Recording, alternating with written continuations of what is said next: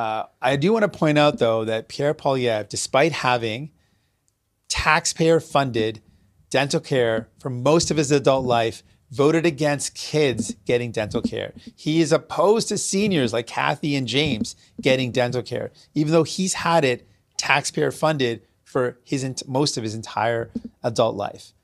Uh, we are sending a clear message that we believe people need that support. We've used our power while in this minority government to give people help.